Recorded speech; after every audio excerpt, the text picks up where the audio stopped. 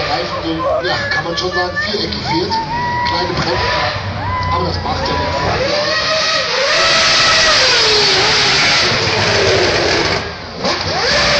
Zentimeter quasi ein Weltmeister, die nächsten Formel 1 Weltmeister aller Zeiten.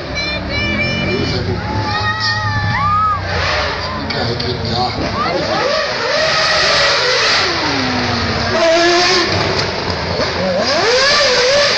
Normalerweise Ingenieuren eher große Stunden ins neue Leben erleben.